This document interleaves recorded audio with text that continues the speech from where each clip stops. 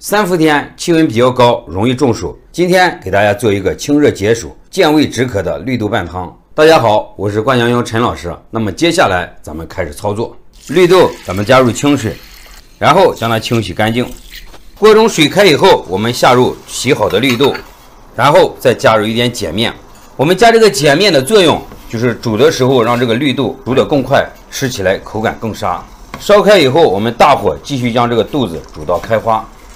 碗中加入适量的面粉，然后倒入少量的清水，将它搅拌均匀，让所有的面粉充分的失水。然后我们再次加入一点清水，然后继续搅拌。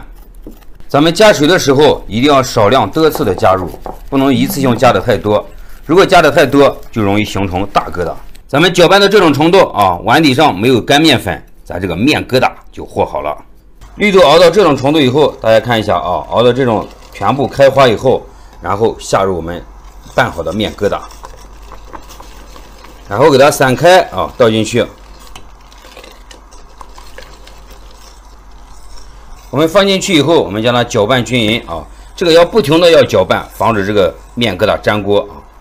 煮开以后，煮上两分钟，咱这个拌汤就做好了。